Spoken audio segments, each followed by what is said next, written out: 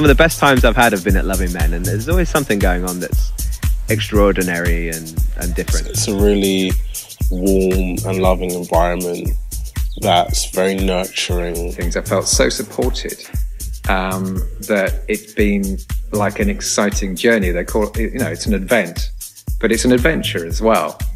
So, Loving Men is uh, an organisation. We're a network. Um, we do we run various events during the year.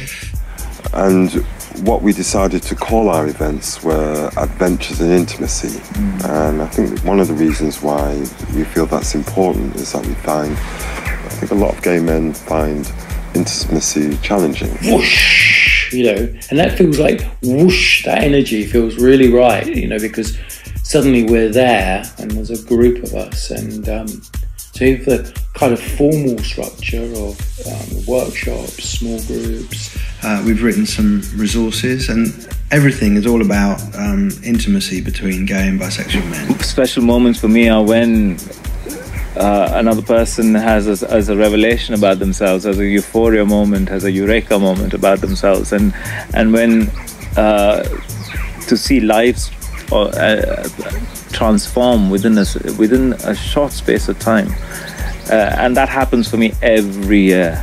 The thing, the main thing for me about loving men is community, being with uh, other gay men, gay bisexual men, in a space where it's okay to talk about a lot of things where perhaps in other parts of my life, talking about them could be problematic. Um, there's a real sense of connection and uh, a sense of brotherhood as well, which has been really nice. Regarding the, the, the diversity of the people who attend Loving Men, it's a great variety um, from ethnicity to age and to health status as well. And I remember we have to stand in the circle go from the youngest to the oldest, and we have people in their 20s, in their 30s, up to in their 80s. It's been such a nicely balanced week, you know, with just enough working on yourself, relaxation time, so much to do. Just being here is fantastic. So, loving men really helps you to form deeper relationships, which is not not about sex. It's not about drugs. It's not about being shallow. It's something else, and that's been really important for me. But also, even I think that just the whole process here is all about relationships. Um, so it's how we relate to each other, and, and and the whole and the workshops and all of that.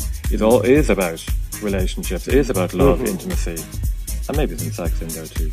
Yes, if you're lucky. I think one of the things that makes this event very special for me is that is the laughter. Mm. I mean, you know, I don't think I laugh as much as I do in one week as I do here. And I think for me that is very healing and very therapeutic. Mm. Um, and it's something that uh, I look forward to every year. I learn about humanity and I learn about diversity. I learn about uh, integrity and uh, and I was moved about the the willingness to connect as uh, human beings.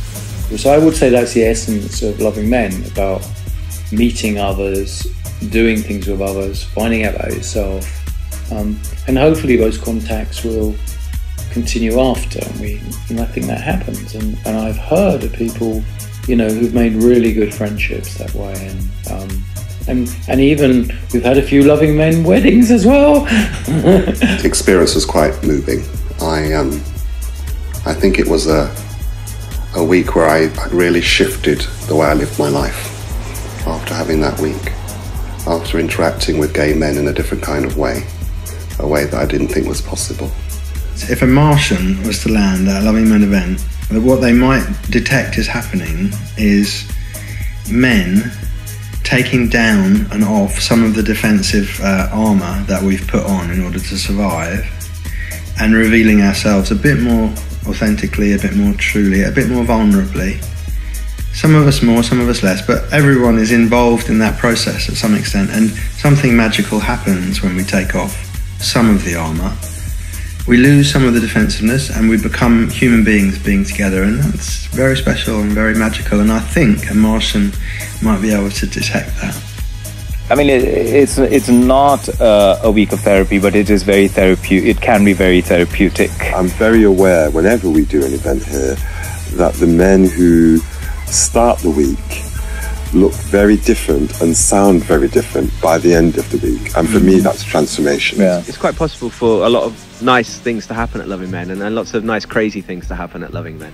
Uh, some of the best times I've had have been at Loving Men. It's such a welcoming and supportive environment. It's a, such a good place to meet people and to learn new skills in how to get on with people that I would recommend it to anybody. In fact, a lot of my straight friends are complaining, why isn't there a Loving Men for us? And you know, who knows? You know, you, you, you might also possibly meet someone as well because you know you're surrounded with men who, again, are seeking that deeper connection and who are looking for something more. And I think if you're coming with that intention, it's it's you know quite likely you'll you'll meet other men as well who are also looking for that.